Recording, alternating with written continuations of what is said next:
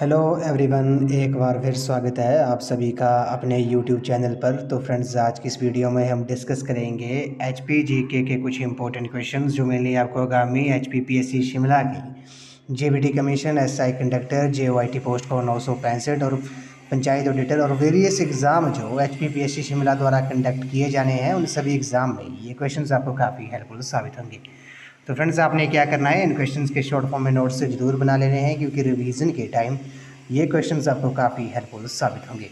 तो फ्रेंड्स अगर आप एच पी टेट की तैयारी भी कर रहे हो तो इसके लिए भी मैंने एक अलग से प्ले लिस्ट बनाई है, जिसका जो लिंक है, मैंने डिस्क्रिप्शन बॉक्स में दे दिया है। आप वहाँ पर जाकर वीडियोज़ देख सकते हो। वहाँ पर आपको एच पी टेट के regarding one fifty plus videos आपको देखने को मिलेंगी। तो फ्रेंड्स वीडियो को शुरू करते हैं। क्वेश्चन नंबर टू में बोले गांधी जी पहली बार शिमला कब आए थे? When Gandhi ji visited Shimla for the first time काफ़ी इंपॉर्टेंट क्वेश्चन है तो आपको पता होगा गांधी जी पहली बार शिमला कब आए थे? इस क्वेश्चन का जो राइट आंसर है आपका ऑप्शन नंबर ए है 1921 में महात्मा गांधी जी पहली बार शिमला गए थे। ऑप्शन नंबर ए इस क्वेश्चन का राइट आंसर है। अगले प्रश्न पे चलते हैं। भारत में शिम, भारत में शिमला को ब्रिटिश राज्य की ग्रीष्मकालीन राजधानी किसने बनाया था? Who designated Shimla as the summer capital of British British empire in India काफ़ी इंपॉर्टेंट क्वेश्चन है। क्वेश्चन नंबर थर्ड का जो राइट आंसर होगा, वो आपका ऑप्शन नंबर बी है सर जॉन लॉरेंस जो है।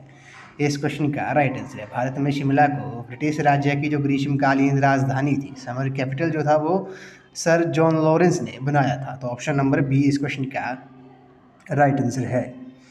अगले प्रश्न पे चलते हैं। हिमाचल प्रदेश सड़क हिमाचल प्रदेश सड़क परिवहन निगम एचआरटीसी की किस वर्ष अस्तित्व में आया था? Himachal road transport corporation H R T C came into being in which year तो काफ़ी इंपॉर्टेंट क्वेश्चन है। इस क्वेश्चन का जो राइट आंसर है, वो आपका ऑप्शन नंबर ए है। एचआरटीसी जो थी, इसकी जो स्थापना हुई थी, वो दो अक्टूबर उन्नीस सौ चौहत्तर को हुई थी। ये आपने याद रखना है। तो ऑप्शन नंबर ए जो है, इस क्वेश्चन का करेक्ट आंसर है।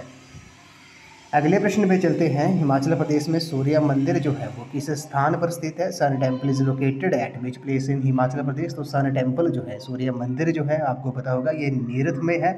डिस्ट्रिक्ट शिमला में ये पड़ता है। ऑप्शन नंबर डी इस क्वेश्चन का करेक्ट आंसर है। Sun temple is located at Nirath Himachal Pradesh. तो ऑप्शन नंबर डी इस क्वेश्चन का राइट आंसर है।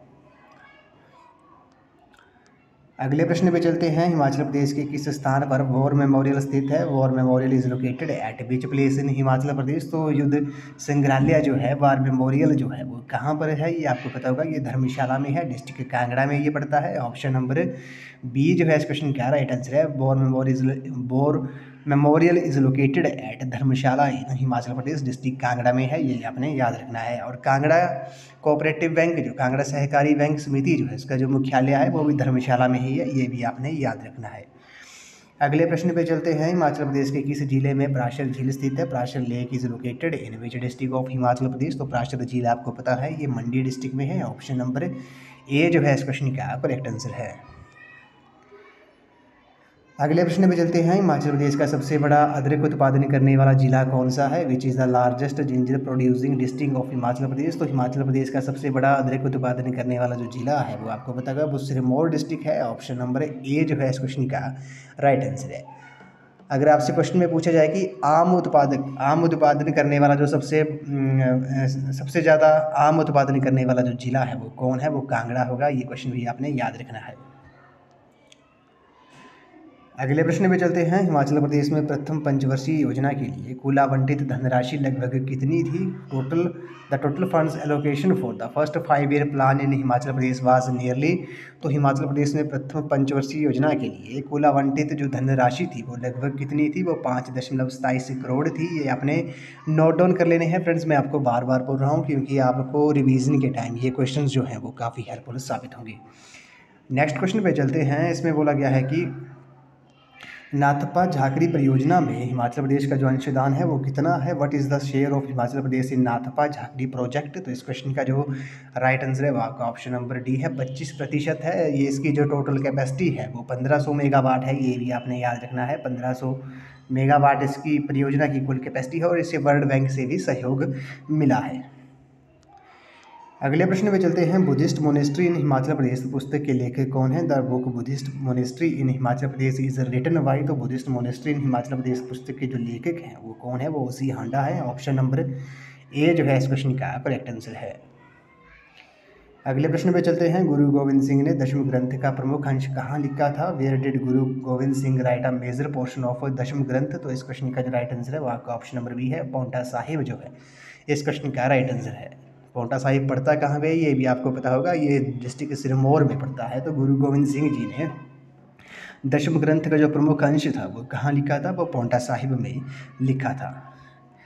अगले प्रश्न पे चलते हैं, पहाड़ी चित्रकला का सब चित्रकला का सबसे पुरानी शैली कौन सी है? The oldest school of Pahari painting is इस क्वेश्चन का जो राइट आंसर होगा, वो आपका ऑप्शन नंबर सी है, बसोली जो है इस क्वेश्चन का राइट आंसर है।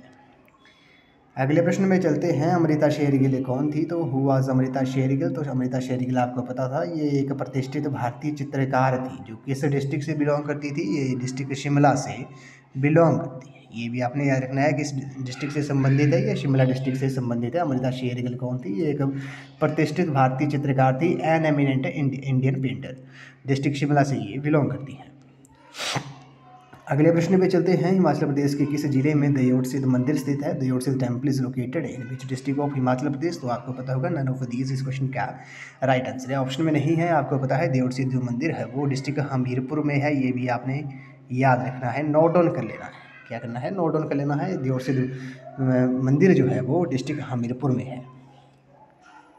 अगले प्रश्न में चलते हैं। भुंडा उत्सव जो है, वो प्रत्येक कितने वर्ष बाद मनाया जाता है? Bhunda ceremony is held after every तो भुंडा उत्सव जो है, वो प्रत्येक बारह वर्ष बाद मनाया जाता है। ऑप्शन नंबर बी इस क्वेश्चन का राइट आंसर है Bhunda ceremony is held after every twelve years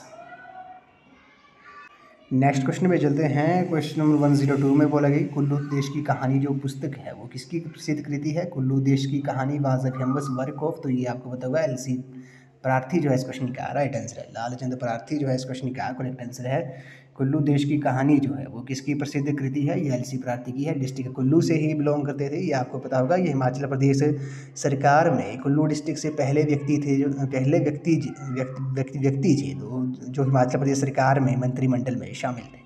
पहले ये भी आपने याद रखना है, एलसी प्रार्थी जो है इस क्वेश्चन का राइट आंसर है Kullu Desh Ki Kahani was a famous work of LC Prarthi. अगले प्रश्न पे चलते हैं। जगत सुख में गौरी शंकर मंदिर का जो निर्माण था। वो किस शताब्दी में हुआ था? Gauri Shankar temple at Jagat Sukh was built in which century तो इस क्वेश्चन का जो राइट आंसर है वो आपका ऑप्शन नंबर बी है आठवीं शताब्दी जो है, इस क्वेश्चन का करेक्ट आंसर है। जगत सुख में गौरी शंकर मंदिर का जो निर्माण था, वो आठवीं शताब्दी में हुआ था।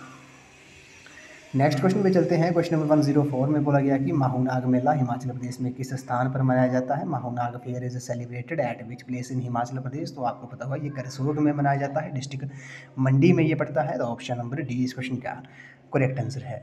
नेक्स्ट क्वेश्चन पे चलते हैं। इसमें बोला गया है कि शान और शाबू हिमाचल प्रदेश किस घाटी के दो लोकप्रिय नृत्य हैं? Shan and Shabu are two popular dances of which valley of Himachal Pradesh? तो आपको पता हुआ ये लाहौर घाटी के हैं। ऑप्शन नंबर डी जो है इस क्वेश्चन का राइट आंसर है।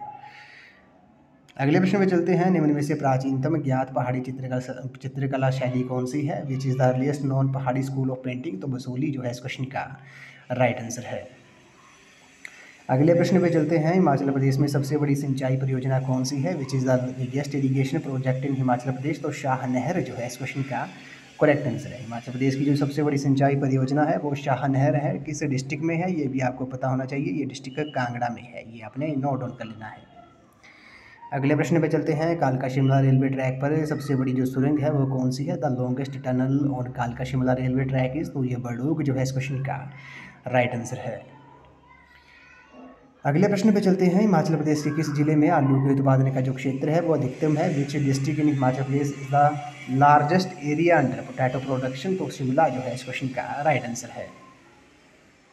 अगले प्रश्न पे चलते हैं। H P mid Himalayan watershed development project was launch in which year तो हिमाचल प्रदेश मध्य हिमालयन वाटरशेड विकास परियोजना जो है, वो किस वर्ष में प्रारंभ हुई तो काफ़ी इंपॉर्टेंट क्वेश्चन है। Question number one hundred ten का जो राइट आंसर है, वो आपका ऑप्शन नंबर डी है, दो हज़ार पाँच जो है इस क्वेश्चन का राइट आंसर है।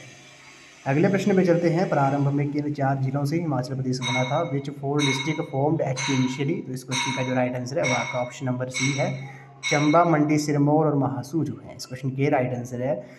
चार डिस्ट्रिक्ट जब प्रारंभ में हिमाचल प्रदेश में था वो किन चार डिस्ट्रिक्ट से बना था? चंबा हो गया, मंडी हो गया, सिरमौर हो गया और महासू हो गया। महासू जो था, वो शिमला को कहा जाता था, ये भी आपने याद रखना है। अगले प्रश्न पे चलते हैं। उन्नीस में जब हिमाचल प्रदेश को पूर्ण राज्य का दर्जा दिया गया था, ये भारत का कौन सा राज्य बना था? When H P was granted full statehood in 1971 it become which state of India तो इस क्वेश्चन का जो राइट आंसर होगा वो आपका ऑप्शन नंबर ए है, ये अठारहवा राज्य बना था।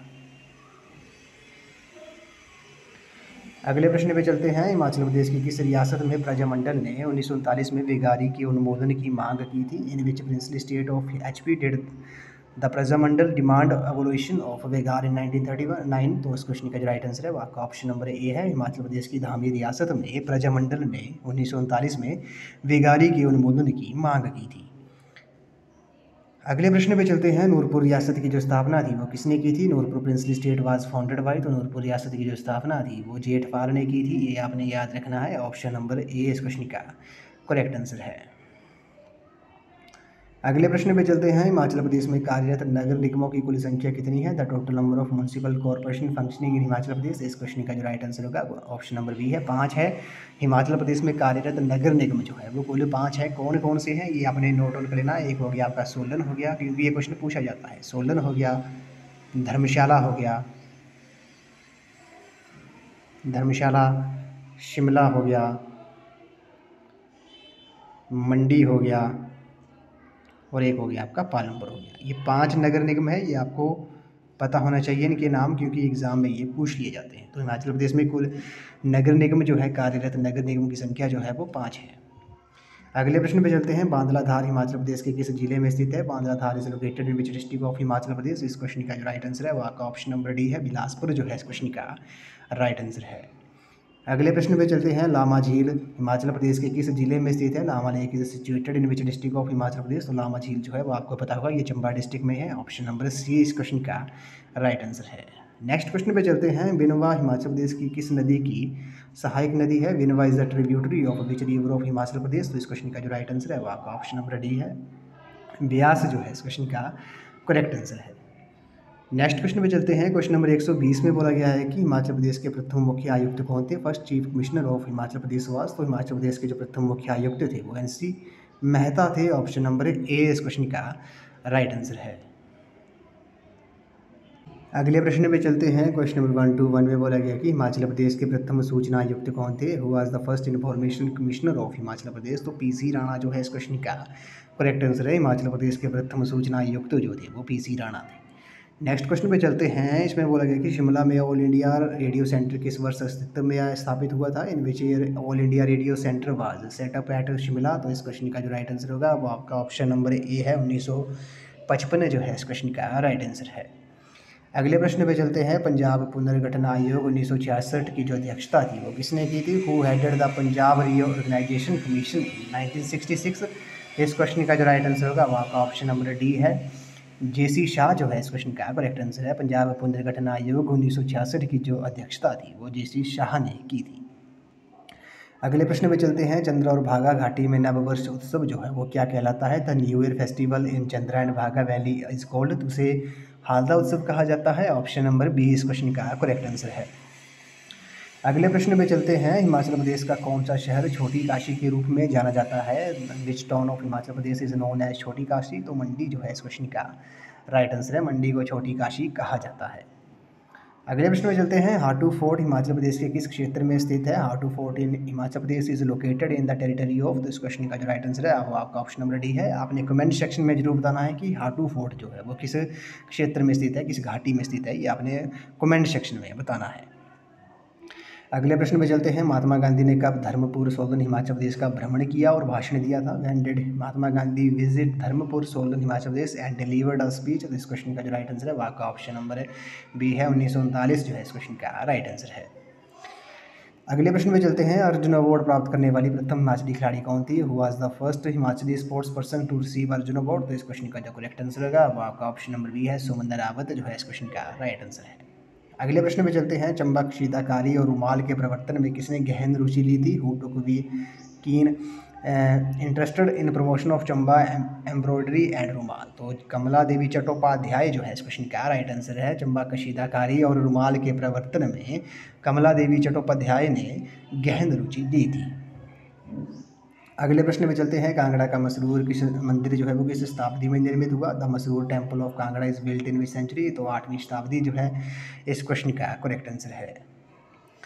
अगले प्रश्न पे चलते हैं। मंडी का शिवरात्रि मेला जो था, वो किसने प्रारंभ किया था? Who started the Shivratri fair of Mandi तो अजबर सेन जो है, इस क्वेश्चन का राइट आंसर है। नेक्स्ट क्वेश्चन पे चलते हैं। आर्या हिमाचल प्रदेश में कहाँ से आए थे? The Arya come into came into Himachal Pradesh from तो ये मध्य एशिया से आए थे सेंट्रल एशिया से। ऑप्शन नंबर बी इस क्वेश्चन का करेक्ट आंसर है।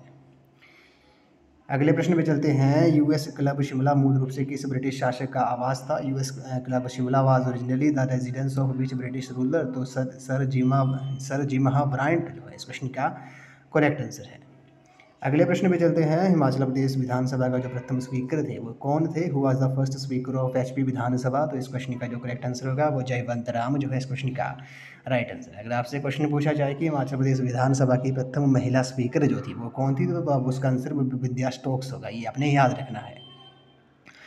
अगले प्रश्न पे चलते हैं। जब अठारह की क्रांति हुई उस समय बुशहर राज्य का शासक कौन था? Who was the ruler of Bushahr state when 1857 revolt took place तो शमशेर सिंह जो है, इस क्वेश्चन का राइट आंसर है।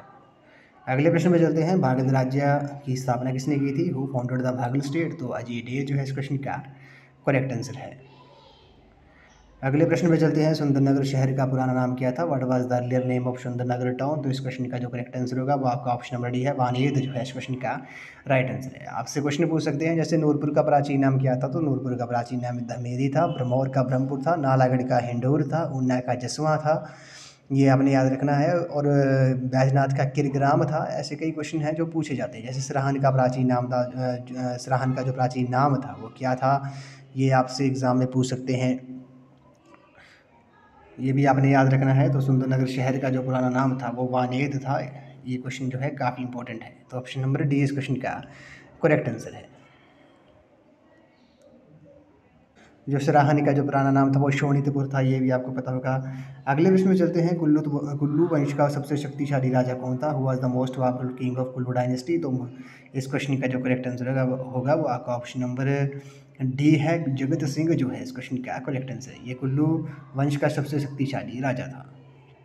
इस वीडियो का ये लास्ट क्वेश्चन है, किस, किसने कांगड़ा लाइब्रेरी की पुस्तकों का अधिपात्य लिया और उन्हें फारसी में अनुवादित करवाया? Who took possession of the books of Kangra library and got them translated into Persian तो फिरोज शाह तुगलक जो है, इस क्वेश्चन का करेक्ट आंसर है।